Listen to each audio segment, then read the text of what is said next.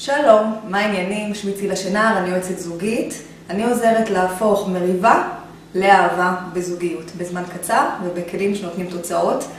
אה, אני החלטתי בסרטון הזה לדבר על שאלה שהמון נשים מפנות אליי בנושא של ניתוחים פלסטיים.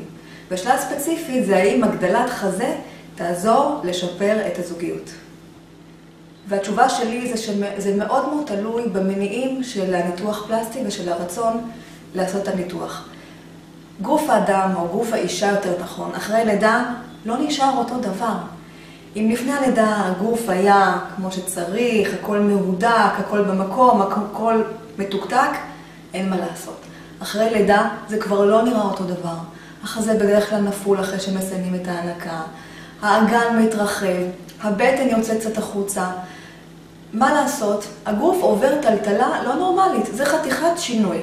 עכשיו, אם הרצון לעשות הניתוח פלסטי הוא פחד שהבעל לא יימשך, שהבעל לא ירצה לגעת בה יותר, שהבעל לא, לא, לא יראה אותה בצורה סקסית, או פחד שהבעל ילך לחפש מישהי אחרת, יותר צעירה, שלא עברה לידה, במידה ואישה, וזה המניע של אישה לעשות את הניתוח הפלסטי, רוב הסיכויים זה שהיא תהיה ממורמרת, מתוסכלת, היא תנטור טינה, היא תרגיש את הניתוח הזה היא עשתה בגללו, היא תרגיש לא שלמה עם הגוף שלה, היא תרגיש שהיא מנסה לרצות והיא תסתובב כל הזמן עם תחושות של כעס ותסכול, גם אם היא לא מבטאת את זה, אבל זה יהיה שם מתחת לפני השטח ובטווח הרחוק, אין לי ספק שזה יחבל בצורה בלתי הפיכה בזוגיות.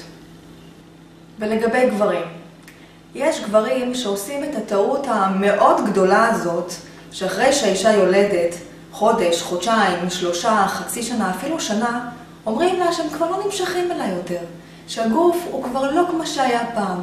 ולהגיד דבר כזה לאישה זה כמו לתקוע לה סכין בלב עמוק, חד, כואב, זה אחד הדברים הכי פוגעים שאפשר להגיד לאישה, ואני מכירה גברים שאומרים את זה. הכוונה שלהם היא טובה, הכוונה שלהם זה לדרבן אותה כדי שהיא תיקח אחריות על עצמה, כדי שהיא תהיה יותר יפה, תלך לך יותר כושר, תרזה. בתכלס זה משפט שהוא פוגע בצורה אנושה בדימוי העצמי של האישה, באיך שהיא מרגישה עם עצמה. גם כך היא לא מרגישה נוח עם הגוף שלה. גם ככה אנחנו חברה שסוגדת לרזון ולדמויות פיקטיביות של כל מיני מאוד מעצבי האופנה אה, מאירופה.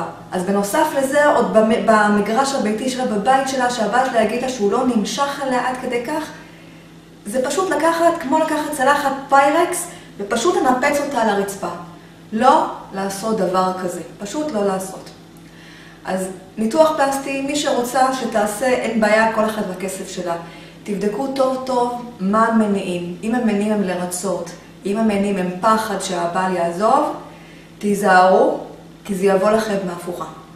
אם אהבת את הסרטון, אבל אני ממליצה לכם לשתף, לעשות לייק, להירשם לערוץ שלי ביוטיוב למעלה, ומתחת לסרטון יש קישור שאם אתם לוחצים עליו אתם מגיעים לדף של, אפשר להוריד ממנו את הקורס הווידאו הראשון בישראל של איך להגיד לו את מה שמעצבן אותך בלי להגיע לפיצוץ. וזה מתאים לנשים ולגברים כאחד, זה אחד הכלים הכי חזקים שיש לי.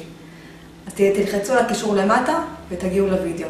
אז אני צילה שנער ומזכירה לכם, ניתוח פלסטי, תבדקו טוב טוב מה המניעים שלו. ביי ולהתראות.